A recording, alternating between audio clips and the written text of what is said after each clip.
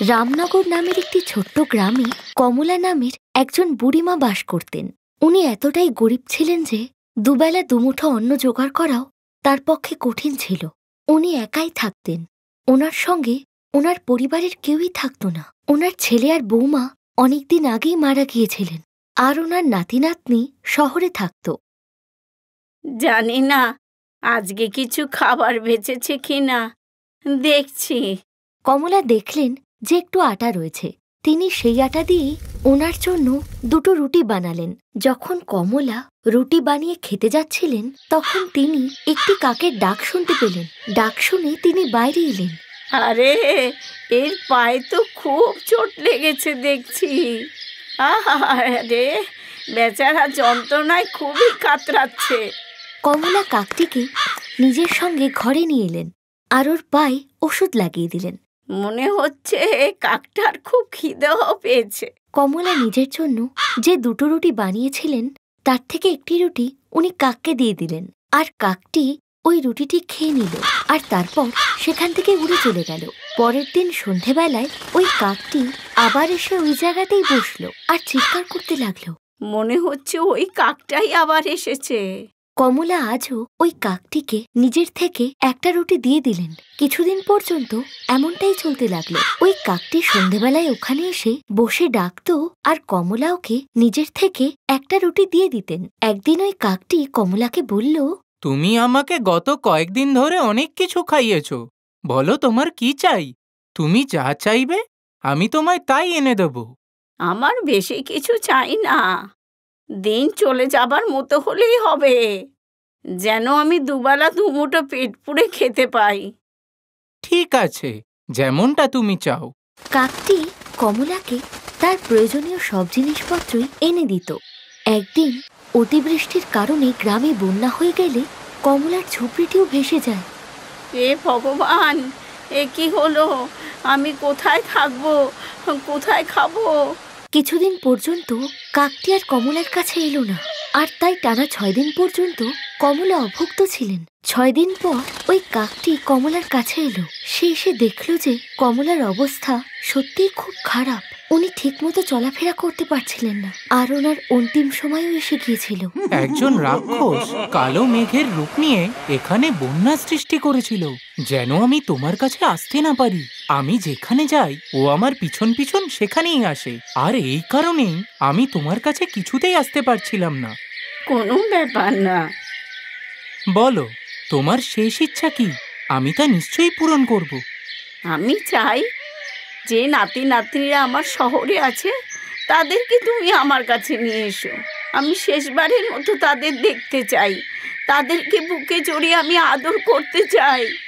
আচ্ছা ঠিক আছে। এই বলে কাকটি তার জাদুশক্তি দিয়ে দেখল যে কমলার নাতি নাতনি কোথায় আছে। এরপর কাকটি তাদের কাছে উড়ে গিয়ে বলল তোমাদের ঠাম্মার অবস্থা ভালো নয়। ওনার শরীরের অবস্থা খুবই খারাপ। উনি যে কোনো দিন মারা যেতে পারেন। আর উনি ওনার শেষ সময়। তোমাদের দুজনকে একবার দেখতে চাইছেন। এই শুনে কমলার নাতি নাতনি কাকের সঙ্গে যেতে রাজি হয়ে গেল। এরপর কাকটি ওদের দুজনকে ওর পিঠের উপর বসিয়ে নিয়ে উড়ে চলে এলো। কিন্তু ওরা পৌঁছানোর আগেই কমলার মৃত্যু হয়ে গিয়েছিল। এই দেখে সবাই খুব দুঃখ পেল আর কমলার দিকে দেখতে লাগল। না এটা হতে পারে না। যে আমি কমলার শেষ ইচ্ছেটুকুও পূরণ করতে পারলাম না। এই বলে কাকটি জোরে জোরে কাঁদতে লাগল। কেমন ইচ্ছে? উনি তোমাদের দুজনকে শেষবারের মতো একবার বুকে জড়িয়ে আদর করতে চেয়েছিলেন। আমরা কখনোই ঠাকুমাকে একবারের জন্যও দেখতে আসতে চাইনি কিন্তু তাও ঠাকুমা যে শেষ সময় আমাদেরকেই দেখতে চেয়েছিলেন। কাক তোমার কাছে তো জাদু শক্তি আছে তাই তোমার কাছে কোনো না কোনো উপায় নিশ্চয়ই থাকবে। আমাদের শুধু একবারের জন্য ঠাম্মাকে জড়িয়ে ক্ষমা চাইতে দাও। এ যে মনে হয় আর সম্ভব নয় কিন্তু তাও আমি কমলার জন্যে একবার শেষ চেষ্টা করব। নিশ্চয়ই করব। এই বলে কাকটি তখনই সেখান থেকে উড়ে গিয়ে গ্রামের শেষ প্রান্তে সেই সাধু বাবার জন্য অপেক্ষা করতে লাগল যিনি ওকে এই জাদুশক্তি দিয়েছিলেন। বাবা আমি একজন মৃত মানুষকে কিছুক্ষণের জন্য জীবিত করতে চাই। আর এমনটা করা যে আমার জন্য খুবই জরুরি। তাই দয়া করে এই কাজটি করার কোনো উপায় আপনি আমাকে বলুন। কিন্তু এই কাজের জন্য যে তোমাকে অনেক ত্যাগ করতে হবে আর এই কাজে যে অনেক ঝুঁকি আছে এমনকি তোমার প্রাণও যেতে পারে। বাবা আমি যে কোনো ঝুঁকি নিতে রাজি আছি। আপনি শুধু আমাকে একবার ওই উপায়টুকু বলুন। তাহলে শোনো, তুমি চাইলে ওই মানুষটাকে ফিরিয়ে আনতে পারবে। কিন্তু এমনটা করতে হলে যে ওই ব্যক্তির জায়গায় অন্য কোনো একজনকে পাঠাতে হবে। কারণ মৃত ব্যক্তিটি যতটুকু সময়ের জন্য জীবিত হবে ঠিক ততটুকু সময়ের জন্য অন্য কোনো একজন ব্যক্তিকে মৃত্যু বরণ করে মৃত্যু লোকে থাকতে হবে। কিন্তু এই কাজের ঝুঁকিটা হলো এই যে, নির্ধারিত সময় থেকে এক মুহূর্ত দেরি হলে যে মৃত ব্যক্তিটি পৃথিবীতে ফিরে এসছে, সে জীবিত থাকবে আর জীবিত ব্যক্তিটি মৃত হয়ে যাবে। এরপর কাকটি কিছু না ভেবেই কমলার কাছে চলে গেল আর কমলাকে এক ঘণ্টার জন্য জীবিত করে নিজেই মৃত্যুবরণ করল। কাকটি মারা যাওয়ার সাথে সাথে কমলা জীবিত হয়ে গেলেন। কমলা উঠে দাঁড়িয়ে তার নাতি নাতনিকে দেখে খুব খুশি হলেন আর বললেন দাদু ভাই দিদি ভাই আমি তো তোমাদের কথাই সারাদিন ভাবতাম তোমাদের কথাই সারাদিন চিন্তা করতাম। ঠাকুমা তুমি আমাদের ক্ষমা করে দাও। আমরা কখনোই তোমাকে সম্মান করিনি আর তোমার সঙ্গে কিছু সময় কাটাতেও চাইনি। হ্যাঁ ঠাম্মা আমাদের ক্ষমা করে দাও। কোনো ব্যাপার নয় আমি তোমাদের উপর একটুও রাগ করিনি। এই বলে কমলা ওদের জড়িয়ে ধরে খুব আদর করলেন। আর এইভাবে ওদের খেয়ালই ছিল না যে এক ঘণ্টা শেষ হতে যাচ্ছে। কিন্তু আমি এখানে কি করে এলাম? আমি তো মরে গিয়েছিলাম। আরে ঠাম্মা আমরা যে ভুলেই গেলাম। ওই কাকটাই যে এক ঘণ্টার জন্য তোমাকে আমাদের কাছে ফিরিয়ে এনে দিয়েছে। আর এটা করতে গিয়ে ওই বেচারা কাক এক ঘণ্টার জন্য মৃত্যুবরণ করেছে। তবে তো আমাকে যেতে হবে। আমি যে ওর প্রাণ কেড়ে নিতে পারি না ওর জন্যই তো আমার শেষ ইচ্ছা পূরণ হয়েছে। আমি যে তোমাদের দেখতে পেয়েছি। এই বলে যখনই কমলা যেতে লাগলেন তার নাতি নাতনি তাকে জড়িয়ে ধরে কাঁদতে লাগল। এই দেখে কমলা ওদের চুপ করিয়ে বললেন বাচ্চারা তোমরা দুঃখ পেও না। শেষবারের মতো যে আমি তোমাদের সাথে ভালোভাবে দেখা করতে পেরেছি এ এটাই যে অনেক। তাই এবার আমায় যেতে দাও। এই বলে কমলা কাকটির কাছে গিয়ে তার প্রাণের বিনিময়ে কাকটির প্রাণ ফেরাতে চাইলেন। কিন্তু সেরকম কিছুই হলো না, কারণ কমলার যে এক মিনিট দেরি হয়ে গিয়েছিল। এ ভগবান, এ আমি কি করে ফেললাম? আমি আমার জন্য এই বেচারা কাকের প্রাণ কেড়ে নিলাম। না না না, এমনটা হতে পারে না। না না, বাচ্চারা, ওকে ফিরিয়ে আনতেই হবে। তোমরা দুজন এখানে দাঁড়াও আমাকে জানতেই হবে যে এই কাক কোথা থেকে জাদু শক্তি পেয়েছে। আর কি করে ওর প্রাণ ফেরাবো? ঠাকুমা আমি ওকে গ্রামের শেষ প্রান্তের দিকে যেতে দেখেছি। এরপর কমলা গ্রামের শেষ প্রান্তে গিয়ে ওই কাকটিকে ডাকতে লাগলেন। তখনই সেখানে ওই সাধু বাবা চলে এলেন। কাক বাবা কাক বাবা! কি হয়েছে তোমার? তুমি কাককে কেন ডাকছো? বলো। এরপর কমলা সাধু বাবাকে সমস্ত কথা বললেন। আমি ওকে বলেছিলাম যে এই কাজে অনেক ঝুঁকি আছে এই কাজে এতটুকু ভুল হলেই জীবনলীলা সঙ্গ হয়ে যাবে। আমায় ক্ষমা করে দিন সাধু বাবা। আমি আমার নাতি নাতনিকে দেখে আত্মহারা হয়ে গিয়েছিলাম। তাই আমার সময়ের কোনো জ্ঞান ছিল না। সাধু বাবা ওর প্রাণ ফেরানোর নিশ্চয়ই কোনো উপায় থাকবে। একটাই উপায় আছে। তোমাকে আগামী পাঁচ জন্ম কাক হয়ে জন্মাতে হবে। আর এর সাথে তোমাকে আরেকটা কাজ করতে হবে। তোমাকে তোমার নাতি আর নাতনিকে এক্ষুনি সঙ্গে করে নিয়ে গিয়ে ওই কালো মেঘের কবল থেকে কাকটিকে ছাড়াতে হবে। আর একমাত্র এমনটা করতে পারলেই তুমি ওই কাকটিকে আবার বাঁচিয়ে তুলতে পারবে। ঠিক আছে বাবা আমি রাজি। কিন্তু আমি ওই কালো মেঘের হাত থেকে ওকে বাঁচাবো কি করে? এই নাও এই ত্রিশূলটি নাও। একমাত্র এই ত্রিশূলটি দিয়ে মারলেই ওই রাক্ষস মরবে। না হলে নয়। এরপর কমলা নিজের নাতি নাতনিকে সঙ্গে করে নিয়ে গিয়ে অনেক সাহস করে ত্রিশূল দিয়ে ওই রাক্ষসকে মেরে ফেললেন। আর তারপর কাকটির কাছে গিয়ে বললেন আমি ওই রাক্ষসকে মেরে ফেলে দিয়েছি। এবার তুমি ফিরে আসতে পারো। এই বলেই কমলা মৃত্যুলোকে চলে যান আর ওই জাদু কাকটি পুনরায় জীবিত হয়ে পৃথিবীতে ফিরে আসে। কাকটি রাক্ষসের মৃত্যুর খবর শুনে খুব খুশি হলো। আর তারপর খুশি মনে কমলার নাতি নাতনিকে তাদের বাড়িতে পৌঁছে দিল। ওই দিন থেকেই ওই জাদুকাকটি তার জাদুর সাহায্যে কমলার নাতি নাতনিকে সাহায্য করতে লাগল। একজন বৃদ্ধা ছিলেন যার স্বামী অনেকদিন আগেই মারা গিয়েছিলেন এবং তার ছেলেও বড় হয়ে মারা গিয়েছিল। ওর একজন ভাইপো ছিল যার নাম ছিল বুদ্ধিরাম। বুড়ি কাকি তার সমস্ত সম্পত্তি তার ভাইপোর নামে লিখে দিয়েছিল। সম্পত্তি নেওয়ার সময় বুদ্ধিরাম বুড়ি কাকিকে দেখাশোনা করার কথা দিলেও সম্পত্তি পাওয়ার পর আর সেই কথা রাখেনি। আর বুদ্ধিরামের স্ত্রীও ওনার সাথে ভালো ব্যবহার করতেন না, এমনকি ওনাকে সময় মতো খাবারটা পর্যন্ত দিতেন না।